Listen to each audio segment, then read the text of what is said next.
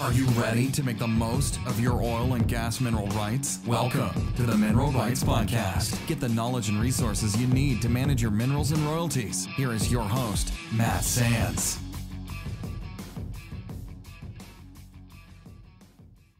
Hello and welcome to another episode of the Mineral Rights Podcast. I am your host, Matt Sands, and with me is my trusty sidekick, Justin Williams. Hi, Justin. Good morning, Matt. Thanks for having me as always.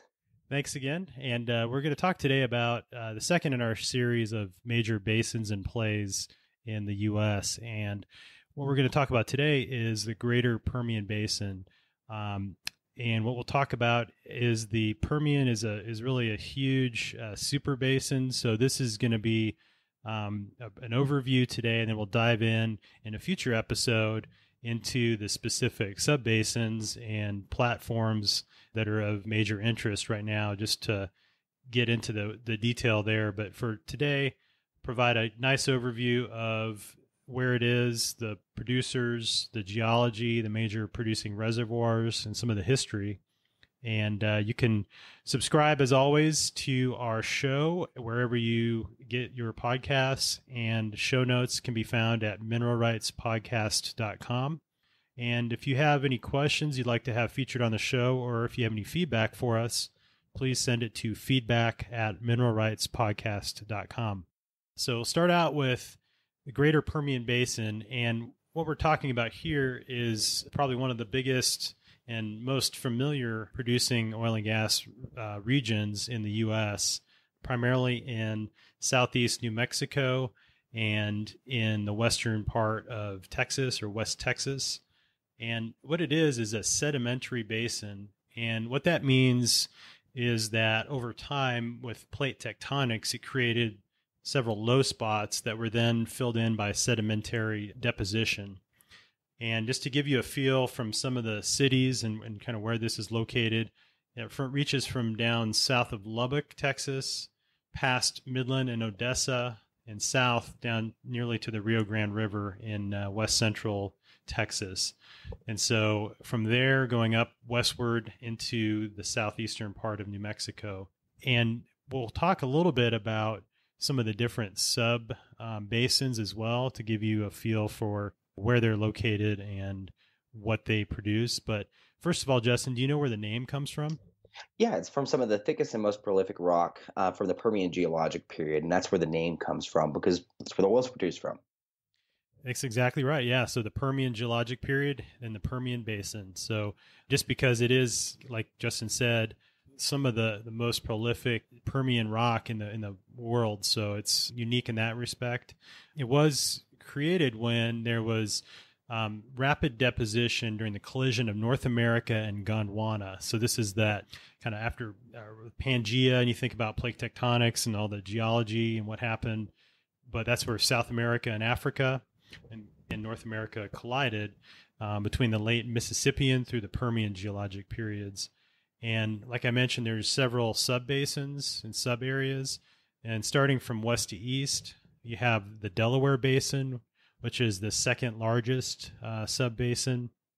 You have the Central Basin Platform, and then you have the Midland Basin, which is the largest subbasin. And then to the north in southeast New Mexico, you have the aptly named Northwest Platform. The Permian Basin is huge. So we're talking 250 miles wide by around 300 miles long, um, or 75,000 square miles. And so, you know, there is a rich history of oil and gas um, production in this area. Midland and Odessa are oil field towns. They serve as hubs for oil and gas companies and service providers in the region. And uh, the production is a mix of oil and gas some of the oil and and what you'll see there is there is some sour crude and what that means is there's H2S present which we won't really talk about here but just to know that it's got sweet and sour just depending on where you're at and some fun facts about the the Permian Basin like I mentioned it's got a rich history with over 80 years of production and over 30 billion barrels of oil produced to date and around a quarter of the U.S. oil reserves are found in the Permian. So it is a, a significant and important basin when we talk about producing oil and gas um, plays. And it is front and center with the um, recent shale and unconventional explosion in the U.S. And so it is also, you know, both the, the rich um, history of conventional oil and gas production, as well as now primary focus for a lot of oil and gas companies, which Justin will talk about here in a little bit. Yeah, absolutely. And, and Odessa is also the home of uh, several museums from oil and gas. It's actually my hometown and where I grew up. Um, and growing up in the oil fields, um, it's just hundreds of years of history. And, and, Odessa is technically, I mean, it's it's an oil field town. That's what it's known to be. It's with the booms and the busts of the oil fields. That's right. Yeah. So that's got you know the our first production that was established was in Mitchell County in the Permian, and this was in 1921. Uh, that well was drilled and completed in 1923, and the well was the Santa Rita number one and it produced for nearly 70 years before it was plugged in 1990. So when we talk about oil and gas wells having um, a long life, that is an exam- prime example of that. You know, now with these conventional, unconventional oil and gas wells, uh, we have we don't have that much history yet, but they also um, are expected. I think right now we're looking at wells that are producing almost 20 years into this um, kind of shale revolution and uh, we're still learning every day about more about the decline rates and so forth. Um, but definitely a rich history, long lived wells. And so that's a little bit about the towns and the fun facts around the Permian. What I'm going to talk about next is the geology. So if you were like me in, in Geology 101 in college and um, partially slept through the class, I understand now that I'm in, have been in the oil and gas industry for almost 20 years, I've taken a, uh, another interest in, in geology as it is important to know to understand where oil and gas might be found. So when we talk about geology here, we're going to break it up to the individual basins and platforms that I just mentioned. And there are other smaller geologic areas, but we'll talk about kind of the four um, primary. And what we'll do is talk about the time periods and some of the major layers you're interested in. If you look at a stratigraphic column and sort of top to bottom, you know, where how this stuff is uh, situated.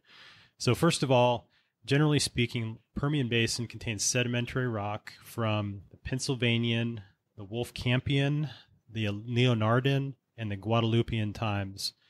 And an f- interesting fact is that the Wolfcamp Formation is actually present throughout the greater Permian Basin. So that was um, something you'll hear about a lot of times with the Permian is the Wolfcamp now that we're talking about these uh, shale plays. So first of all, the, the Delaware Basin is the we're talking about the west side of the greater Permian, which is bounded by the Northwest Shelf to the north, Central Basin Platform to the east, and the Ouachita Marathon Thrust Belt to the south. And so if you look at this on a map, and we'll have some links in the show notes where you can pull some of this stuff up to to learn more. Kind of right there, southeast New Mexico down into uh, West Texas, and with the Midland Basin, the next one is is on the other side of that Central Basin platform, and this is interesting because it dips to the west. So what that means is if you look at it in a cross section, you can see the layers of rock tilted to the west and deeper to the west and shallower to the east. And it's made up of siltstone and sandstones. And it was filled through a large delta that deposited clastic sediment into the basin. And now, if you're like me and didn't know off the top of your head what clastic sediment was, it is sediment that's composed of broken, broken fragments of rock that are made up of pre-existing rocks of various sizes that were physically weathered and broken off and transported from one area and then to another where they're redeposited into another rock. So some specific examples, and these are terms you probably heard of, uh, conglomerate, sandstone, siltstone, and shales. So those are, are different types of clastic sediments. Now, in the middle, I mentioned the Central Basin platform, and that is the area that separates the Delaware and Midland basins. And that's actually a carbonate rock that was established in the area and then tectonically uplifted via compression from the southwest in the late Mississippian through the Pennsylvanian times, and that's around 310, around 265 million years ago. And with carbonate, we're talking reef deposits and shallow marine clastic deposits. So instead of some of the sedimentary rock, we're talking about marine fossils, basically. And then finally, the Northwest Shelf, and this is that part in southeast New Mexico that has it's a shelf edge as it as it sounds, and it's also reefs and then shelf carbonates, and they're in subdivided into different formations there, which we'll get into here in a second. So, just as a, as an overview, those are the kind of the four main components of the Permian Basin, and it's the largest producing basin in the U.S. So it's one of the most important, and 80% of those productive formations are located less than 10,000 feet deep. And the reason that's important, it means that they are accessible with current technology. And more importantly, they can be accessed in an economic fashion. So that's why there's so much activity right now in the Permian. Before, I, I will say, if we talked about the rich history, and it really started out with the conventional oil and gas production from vertical wells and the lithology of those primary reservoirs it was primarily limestone, dolomites, and sandstones because those have high porosity. So this was before the advent of hydraulic fracturing in in kind of applied to horizontal drilling. And so this is where they've gone in. They would complete the well, and there was there's enough if they tapped into the right spot in the reservoir, enough porosity that the oil could flow and they would be able to produce it and then you know that you see the pump jacks and so forth. So for oil wells, they would put it on, have a pump jack there, produce the well oil, and this was getting into that um, time period where you'd have that steady production for a number of years. The thing that we talked about with the DJ Basin, our last basin and play overview, is the advancements in technology and the combination of horizontal drilling and hydraulic fracturing has since expanded into the unconventional reservoirs in tight sands and shales like the Wolfcamp in the case of the Permian. And this has allowed operators to come in and now economically produce these other unconventional reservoirs that in the past were, were not economic. And we'll throw you some, some data here at you from IHS Markit um, and there was a recent study that was done that determined that the Permian holds around 60 to 70 billion barrels of yet to be produced crude oil.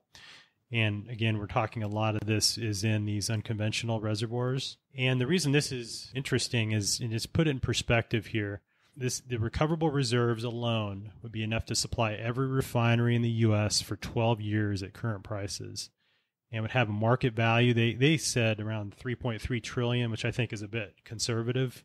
You know, assuming the price of oil stays around sixty dollars a barrel, six uh, sixty dollars a barrel times six, 60 billion barrels is 3.6 trillion dollars. So really massive reserves.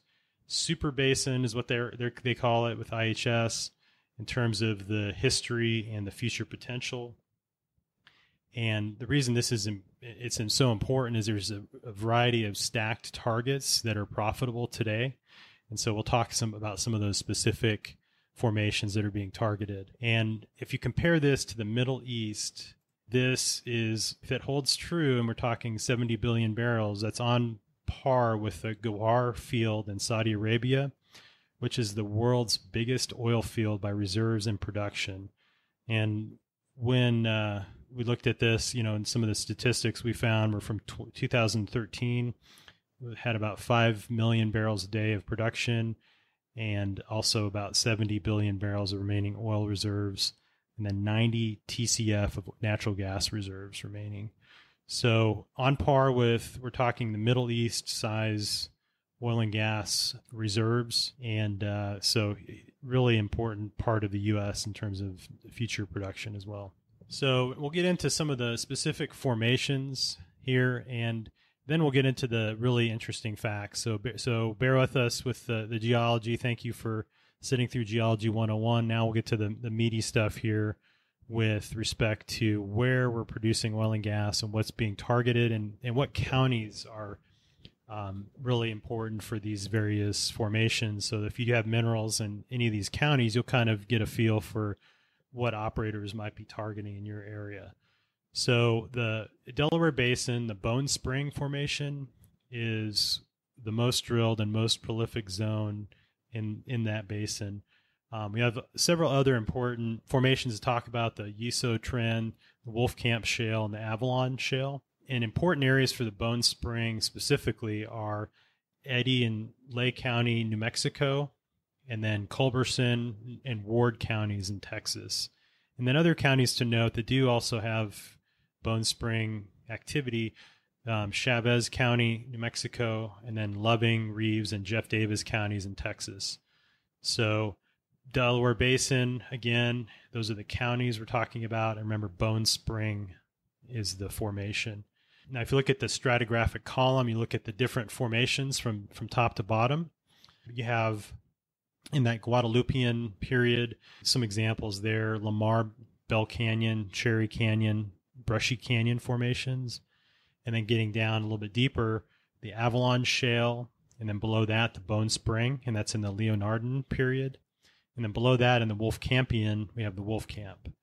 And so if you hear, you know, we're targeting Avalon or we're targeting Bone Spring, that's above the Wolf Camp. and or if you're lease, if you have depth um, restrictions, if they are looking to lease your minerals and you can restrict it to a specific depth, this is where it becomes interesting because you could restrict it to, you know, the bottom, a certain depth below the Bone Spring Formation, for example, and then leave the Wolfcamp open. And then you could have another lease that could actually lease the wolf camp. And so you have really some interesting abilities uh, if you're a savvy mineral owner to look at you know how you should structure the lease and so that's this is where this becomes important to know this information um, just as an example and um, justin in your leasing and in your family's minerals in the uh, in the permian have you guys run into any sort of depth restrictions or have you looked at looked at that at all Oh, absolutely. I mean, that's that's something that I think it's kind of a best best practice for mineral right owners to to do that depth limitation, and it's something we always try to do. Most operators are agreeable with that, and like you said, it keeps um, it keeps them from being able to tie up the lease, to tie up the land for many years. If better technology comes, that they can drill deeper, or another opportunity comes for another operator or the same operator to drill deeper. Yeah, that's a great point because we're talking about you know right now the Avalon, the Bone Spring, and the Wolfcamp well, it could be there's some Pennsylvanian stuff down deeper that comes in and becomes a, the next big play. And so if you have those depth uh, restrictions in place, you have a lot more flexibility to uh, to get even better terms and another lease bonus for for other formations. So it opens up the the possibility for others to come in and drill, which is a good thing if you're a mineral owner. Um, so next, we're going to talk about the Midland Basin, and uh, it's also a stacked play long history, like we talked about.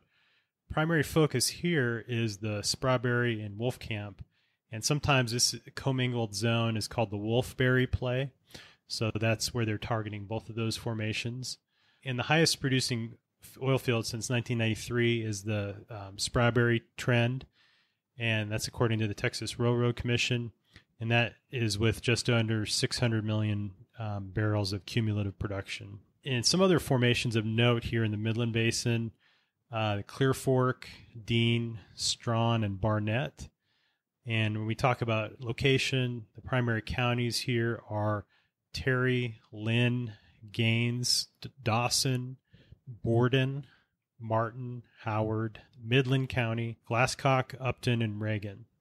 So big area, as you can see, with the, the number of counties it covers.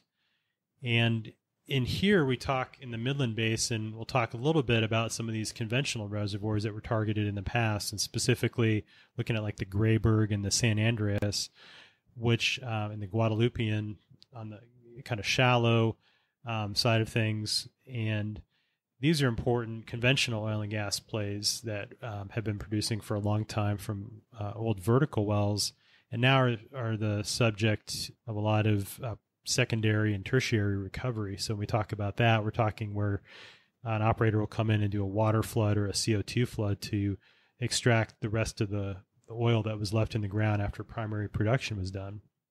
And so they can keep con- continuing to extract more oil and gas um, with advances in those um, in production technology. And then we talk about some of the unconventional formations. We look at the below those, you have the Spraberry, and then below that the Wolfcamp, and then again the Pennsylvanian below all of that.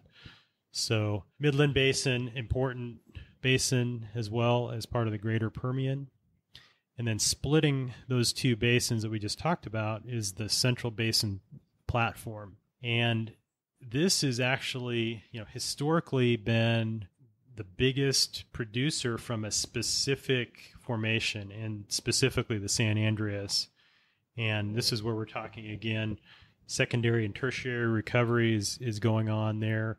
And in the counties we're looking at are um, parts of Lea County in New Mexico, and then Gaines, Andrews, Winkler, Ector, Ward, and Crane counties in Texas. And we talk about stratigraphy, it's pretty similar to the Midland Basin in that we have in the Guadalupian, you have the Yates, the Grayburg, and the San Andreas. Then under that, a Leonardian, which we have here, the Paddock, and at the top down to the Abo at the bottom. There are several formations in between.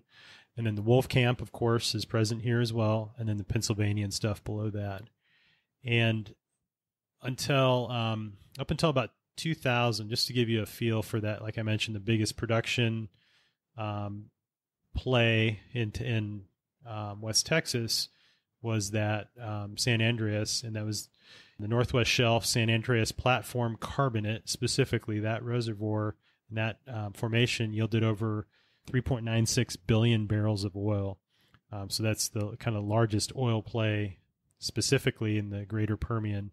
Expect that to be eclipsed once uh, these unconventional plays are fully developed. But you know, historically, at least up until the shale revolution, talking up to until 2000, that was the the biggest. So you have some stuff in, uh, and you know more about a little bit about the Central Basin platform, Justin. What what do you know about this area? Uh, something that's kind of changed over the last few years, especially in like Andrews and Ector County, is saltwater disposal has become a um, huge revenue generator for mineral right owners. Uh, because the oil companies are needing somewhere to to put the the flooding, like you're saying, in the second recovery operations and the fluids used from that, um, it's become something that you just you see all the time now. Yeah, and there is a lot of produced water, and we'll talk a little bit about the infrastructure and, and some of that other stuff here when Justin covers that. But just to know, definitely an important area, Central Basin platform. And when we talk about the next one, the finally, is this Northwest Shelf. And with the Northwest Shelf, the interesting part about it is, according to a study by University of Texas, up until around 2000, the Northwest Shelf San Andreas platform carbonate had yielded over 3.96 billion barrels of oil, which makes it the largest single oil play in the greater Permian Basin, at least up until that time. Um, I expect that a lot of these shale plays will eclipse that uh, when things are said and done. But historically, up until 2000 at least, it was the, the biggest um, play. Now, the Northwest Shelf has the Capitan Reef. And this is a reef deposit along the edge of the Delaware Basin, um, also known as Capitan Limestone. And kind of going back to some of the geology there, the Permian Sea was there and then it retreated and deposited evaporites. And you're thinking evaporites, think of salts and gypsum and stuff like that. And with the Northwest Shelf, we have, again, similar stratigraphy to the Central Basin platform, and that you have the Guadalupian, you have Yates, uh, the Grayburg are there. Um, in the Leonardian, we're talking about things like um, Peak, Dolomite, and then Bone Spring limestone is there as well.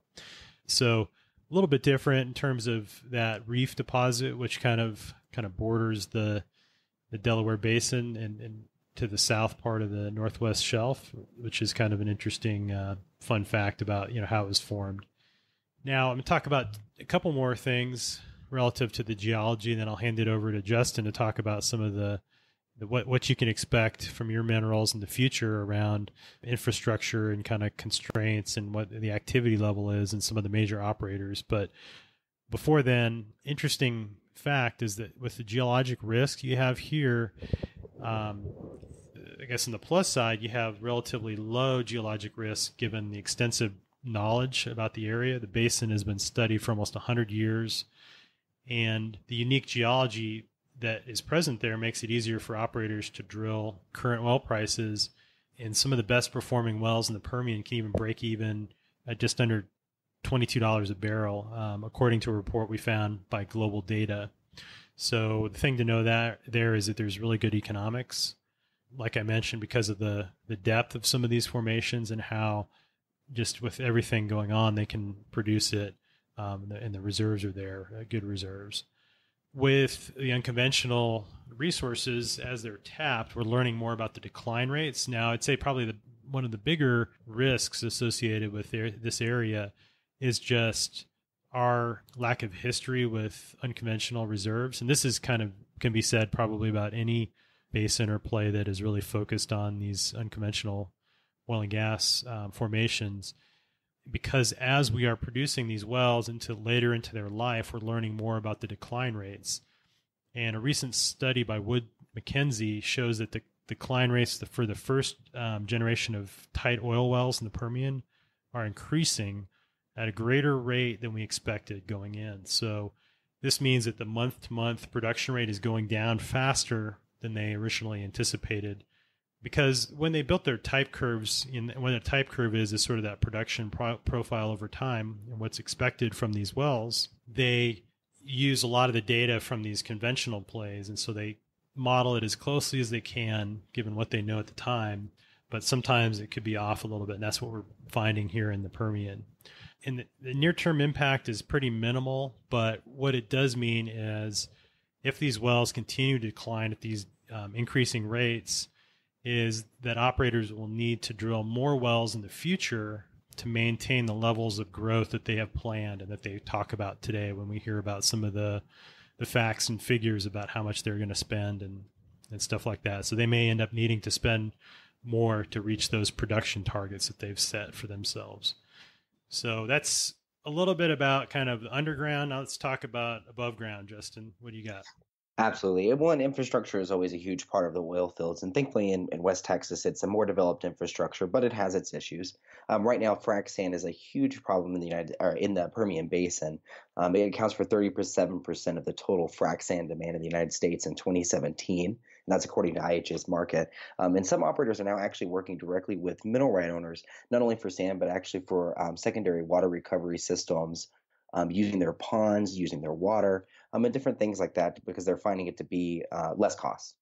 Um, some of the economic rents in the Permian Basin, increasing costs are expected at the current rate of spending, and that's something that that's playing a huge toll in the Permian Basin. And I'll talk a little bit more about that as well. Um, but it's going to cause issues with smaller companies because there there's just too much risk for them to go into the these areas where the larger operators are that have a, a larger pocket. Um, something that's also becoming a big problem with some of the operators is they don't have continuous acreage. As they're trading deals and getting different land from different people, they're finding that they're having issues uh, drilling these long horizontal wells and having the rights to be able to do that.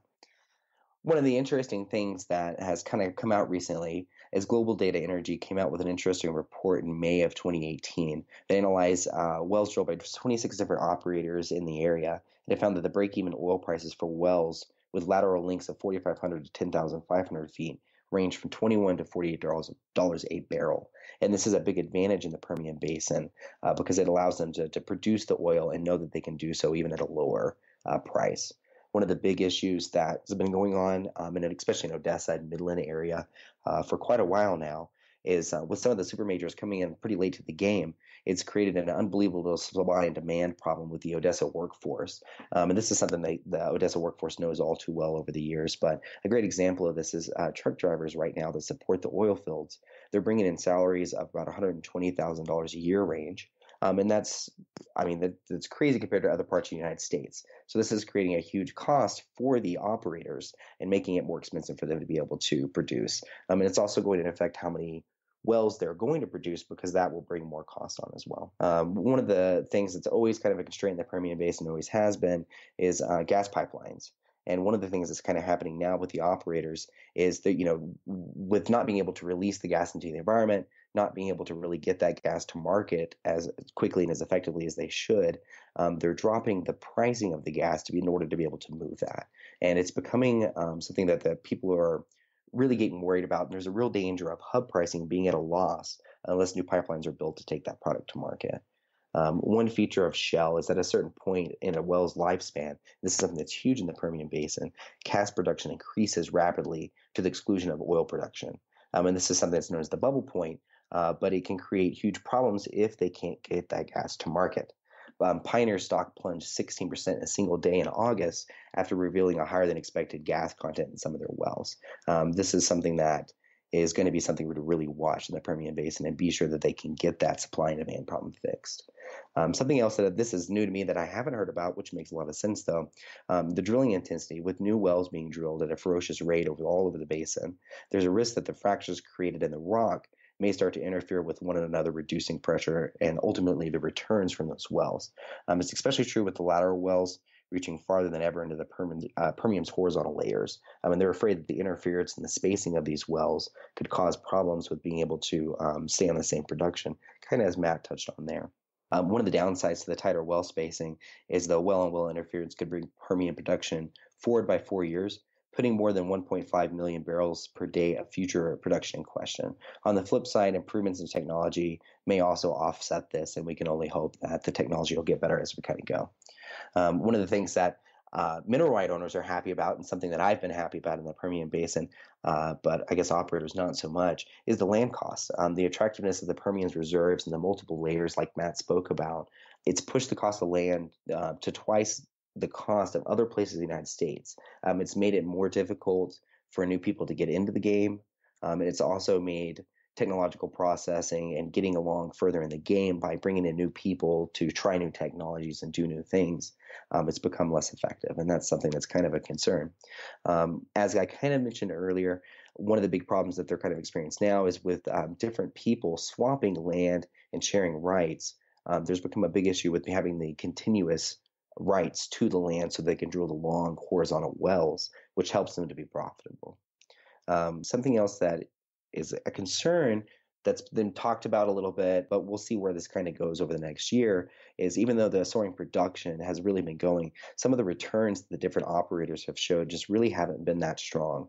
In the last year, the S&P 500 Energy Index dropped 1.7 percent, admitted an 18% gain in West Texas Intermediate crude. Um, the overall S&P is 500 has gained 17% this year. Um, so it'll be interesting to see if the companies can kind of offset the cost and become more effective in producing that oil so they can benefit from the uh, profits of that. A key feature of the shale is one of the things that it does is it comes online very quickly um, in a space of time, months as opposed to years that it takes to get some to get a major offshore well flowing. Um, this means quicker cash returns for the producers. But like Matt mentioned, one of the concerns is they're afraid that they're going to have to really drill more wells. So one of the focuses that's kind of creeping up is driving the cost down on being able to drill those new wells and being able to do them quickly. Um, some of the major operators um, and also once the top 10 acreage holders, which I kind of find this surprising. Oxy, Chevron, ExxonMobil, Apache, ConocoPhillips, um, Devon, Pioneer, Conoco, EOG, and Cimarex are the top um, acreage holders in the Permian Basin. Yeah, so that's interesting, Justin. So you mentioned some of the major operators, and you know I used to work for Shell for a number of years, and I know they were um, very active, uh, along with Anadarko, and I'm surprised to hear that they weren't on the top ten acreage holder list. Um, so just goes to show you how much activity there is out there, and then you know how, how just how huge the the Permian is. Absolutely, and it looks like it's you know for years to come we're going to be seeing oil production. Um, the you know the hope is that technology will really improve and they'll become more effective at producing, so those costs just don't get the best of it. Um, one of the things that's kind of funny, I, I was looking the other day at uh, hotels in Odessa, and right now hotels are ranging anywhere from 800 to 1200 a night due to the demand of bringing workers into that area. Wow, and that's I assume for like a Holiday Inn Express type of a hotel or something like that. You you've got it, and you know wow. Odessa's experienced this before, and they can only build so fast. But um, you know, if oil takes a downturn, Odessa will be a be a ghost city for a while. Yeah, boom and bust cycle. Hopefully that doesn't doesn't bust. Um, you know, hopefully it keeps booming for a number of years, um, which it sounds like it has definitely the potential to do so with all the uh, stacked plays. Definitely bright future, I think you know, when you mentioned a little bit about some of the cost things, one of the things that was pretty interesting when I was doing some of the research here, you mentioned the frac sand, and you know, some of these companies are now opening up sand mines and getting into the sand mining business. And trying to get more vertically integrated and reduce some of their supply costs. To your point, instead of having to buy it from a service company who's going to mark it up based on the demand, if they can control those costs at a fixed rate, that is uh, is going to be helpful to to those companies to keep the economics um, positive. Um, and the thing that was interesting is they used to have this white sand sourced from the Midwest, a lot of sand mines there, and it was you know then they have to truck it or send it by rail to Texas. And now what they're doing is actually opening these uh, sand mines in Texas due to the proximity to, to, the Permian. So they're being built and expanded to help with the demand for uh, for frac sand, which is really important in the completion operation uh, for those new unconventional wells. So, but hopefully, like you said, the, the future is looking bright. You want to talk a little bit about that, Justin? Yeah, absolutely. And, you know, kind of to your effect with the sand and different things like that, that's also creating new opportunities for um, surface owners, mineral right owners, um, which is great. It puts some money into people's pockets and kind of gets the economy moving. Um, and in the West Texas, you know, I don't think we'll see anything but more opportunities to come and more operators. One of the things that's been interesting over the last year is um, so many of the top operators are working together. Um, and you mentioned Shell and Anadarko.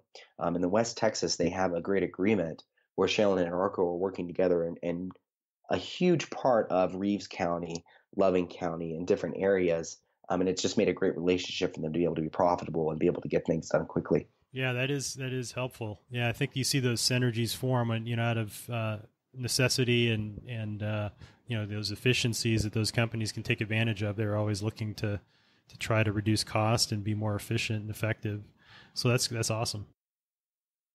Absolutely. And I think that was, you know, a, a, pretty great recap on the West Texas area. And it'll be interesting to see what comes over the next couple years. Yeah, definitely. And I know there's some statistics coming up here in 2023. So over the next five years, they're talking uh, about the Permian um, production reaching a total of around 5.4 million barrels a day, which is, you know, close to that number that I mentioned for the for Saudi Arabia. So we're talking, you know, similar production, similar reserves and the way that they're going to do that is through drilling 41,000 new wells and $308 billion in upstream spending over the next five years between all of those major operators in the greater Permian Basin. So, ton of activity, only good things for mineral owners in terms of demand for um, leasing and for purchasing. So, if you are looking to lease, there's that competition that's already heating up or has heated up over this past several years, and so um, you know definitely um, you can you can leverage that to get really favorable terms. I think in in today's environment. Absolutely. All right. Well, that's our, our recap of the greater Permian Basin. We hope that you found this useful, especially if you are a mineral owner in West Texas or in southeastern New Mexico. If you have any questions that you'd like us to feature in another episode um, or any other basin you'd like us to have a cover relative to where you own minerals, just let us know. We're happy to do so. And as always, find us at mineralrightspodcast.com. And if you'd like to help out the show, we ask that you please leave an honest rating and review on iTunes. That's really the, the best way to um, to show any appreciation. That will help us reach um, more mineral owners like yourselves, and so that we can get this information to them as well. Thanks again for listening, and we'll talk to you next time. Thanks so much for listening to the Mineral Rights Podcast with your host, Matt Sands. Don't forget to subscribe and share at mineralrightspodcast.com. The Mineral Rights Podcast should not be construed as investment, legal, or tax advice. All information is believed to be from reliable sources. However, we make no representation as to its completeness or accuracy.